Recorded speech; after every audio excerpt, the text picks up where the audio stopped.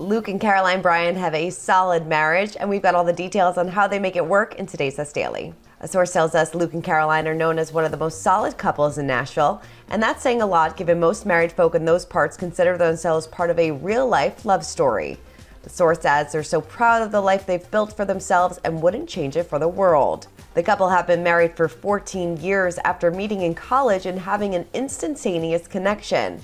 However, they did split up but rekindled their romance four years later. They tied the knot in December of 2006, and she has been by his side as his music career took off. A source tells us Caroline is super supportive of Luke when he's working. He's very doting too and was right by her side when she recently underwent emergency hip surgery. The couple also share two sons, Beau and Tate, and care for his sister's three children after she and her husband both passed away. A source adds schedules can make it super busy, and sometimes there are sacrifices because of that. They didn't spend their anniversary together last year, for example, but ultimately they're best friends, devoted parents, and a very solid, likable pair.